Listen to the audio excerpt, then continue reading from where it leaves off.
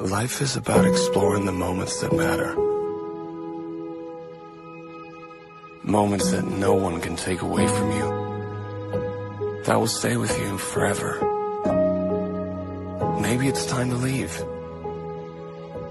Discover what you always wanted to achieve. Find the places you always dreamt of, but only vaguely imagined experiencing.